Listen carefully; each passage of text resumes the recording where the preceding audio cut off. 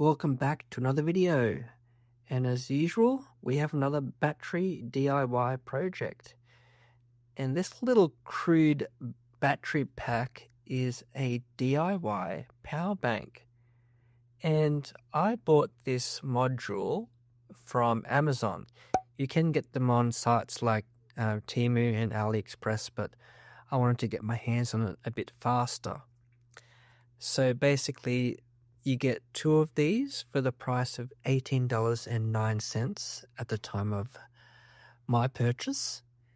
And it accepts a voltage from 3 to 4.2 volts. So basically, a 3.7 volt lithium ion battery.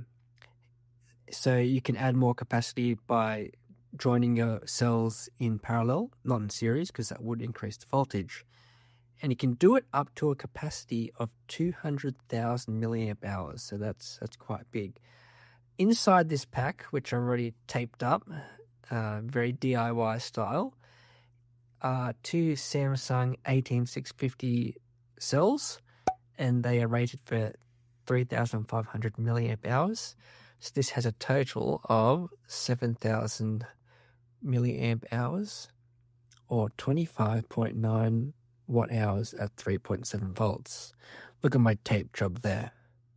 I really should get some um, of that really big PVC heat shrink stuff. I've labeled it so I remember what it is. So all you had to do was solder uh, the positive there and the negative there after my cells are hooked up in parallel. There's two single 8, 18650 battery cases in there and I just taped it up and this is just held on by some double-sided tape.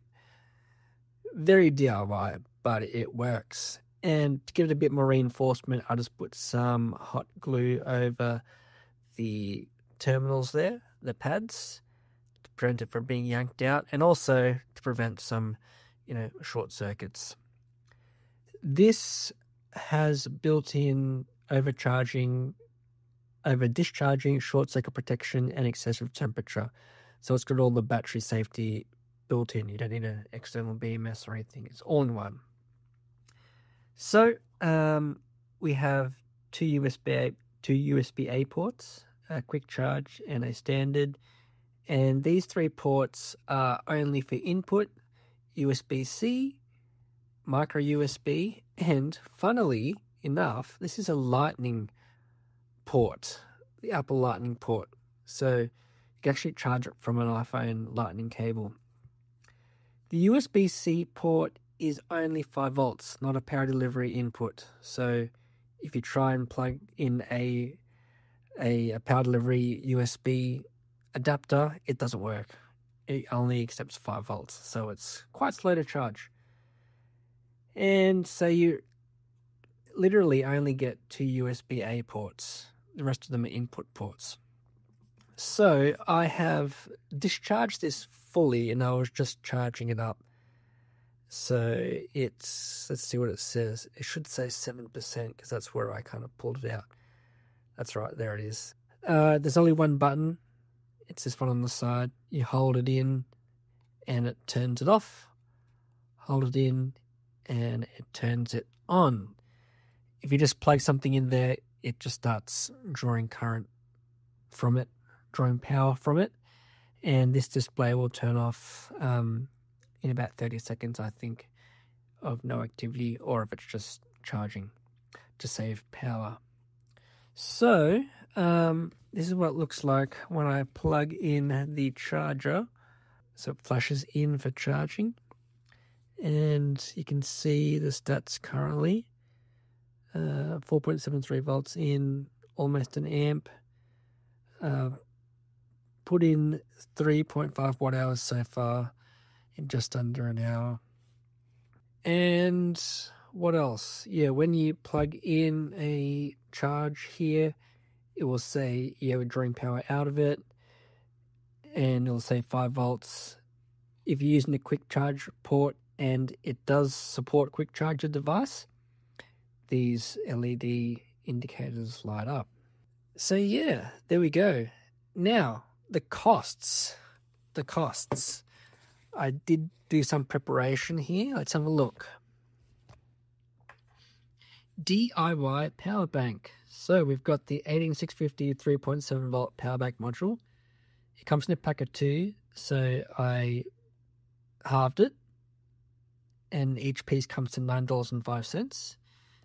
We have two Samsung 18650 3500 milliamp hours cells rated for 10 amps, $17.98.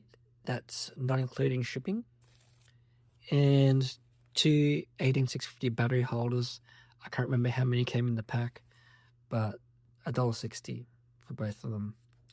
Total of $28.63.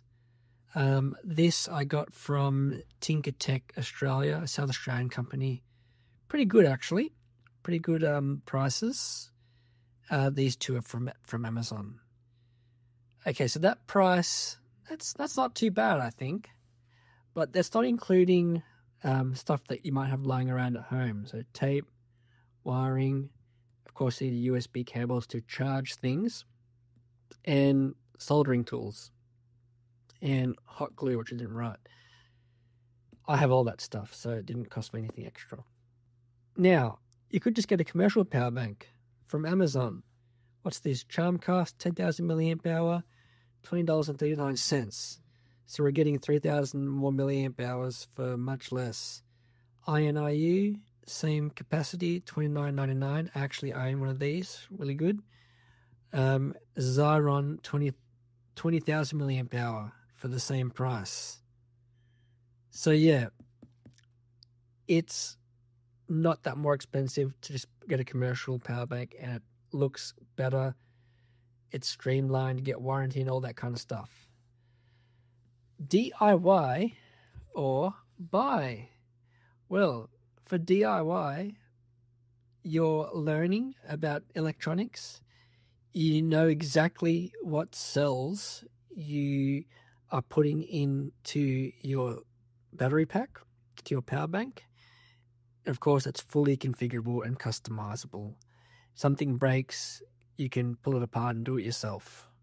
Okay, and I love tinkering with it. That's why I do this kind of stuff.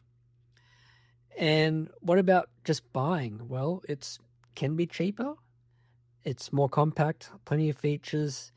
You just buy it, plug and play, and it works. Plus, you get the warranty and support. Um, yeah, you might get warranty and support on this stuff as well, but the components are the components are so cheap on its own, you might as well just buy the replacement part anyway. Yeah, so that was my quick kind of tear down and comparison of going DIY or going commercial. Oh, I have both, and it's just a matter of whether you like playing with the stuff and learning about it, which I do. So I um, don't know what I'm going to use this for, but currently I'm just going to give it a, another charge cycle, give give it another discharge cycle. And because everything is modular, I can pull this apart later and use it for something else. And there we have it. This is the DIY power bank.